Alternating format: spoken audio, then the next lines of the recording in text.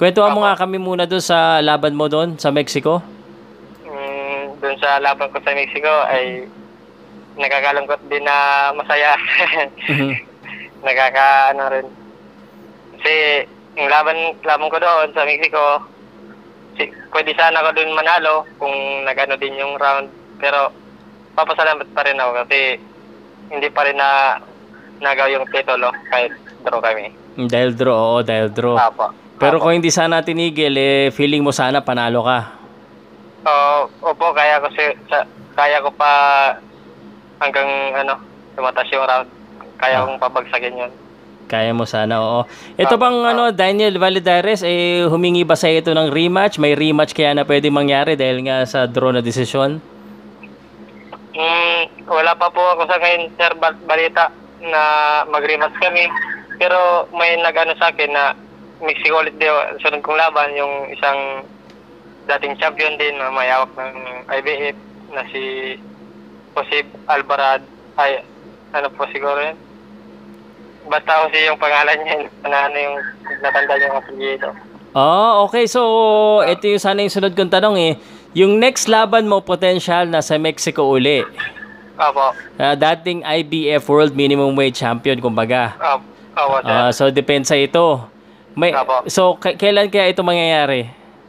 Mm, pagkasabi sa akin ng manager ko, baka June daw po, pero hindi pa siguro maano yun kasi lockdown pa nga po eh. Sa boxing kasi, ba, hindi masyado napapansin yung ah, medyo maliliit na division eh.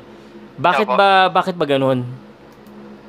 Siguro, ito sa ang timbang ko, parang hanggang minimum muna siguro kasi maliit pa naman ako. Siguro, darating din yung araw na bibigat o mag abot din sa, siguro bantamweight, gano'n. Ah, so may may meron din posible ka rin na umakyat.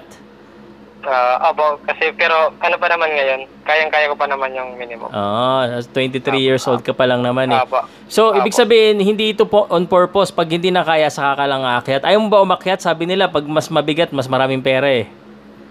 Mm, di ko pa naman sigurado na maka maano kasi mahirap din sa mga ano eh ngayon mga mahirap din yung mga kalaban na 112 ganun 115 Oo, Oo. kaya dito muna siguro ako sa minimum kasi ano pa naman bata pa naman okay, pare. Oo. Nag- naging world champion ka dito sa Pinas. Ah, tinawag, tina- ah, tinalo mo nga si Samuel Salva. Um, kwento mo nga sa amin pa, paano nangyari yung laban na yon Ah, para sa mga hindi nakakaalam.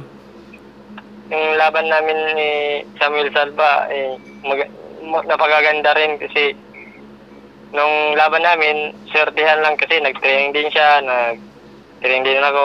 Yun. Ano, swertihan lang din talaga.